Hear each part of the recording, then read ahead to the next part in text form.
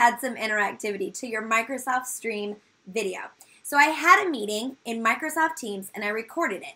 And that recording automatically saved to Microsoft Stream. But now I want to know when should we have the next meeting. So I want to poll my participants. So I'm going to send them the video from the meeting along with the form. I'm going to put that right in the video meeting.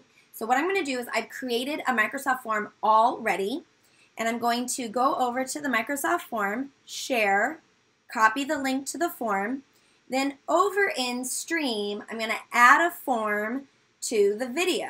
So I add form. Now I'm able to select when do I want to ask this form. So I'm going to move the slider and I want them to watch the entire meeting. And so I'm going to ask this at the end at 13 seconds. So they're going to be able to fill out my Microsoft form. I'm going to add it to the timeline. And now Forms works with Microsoft Stream.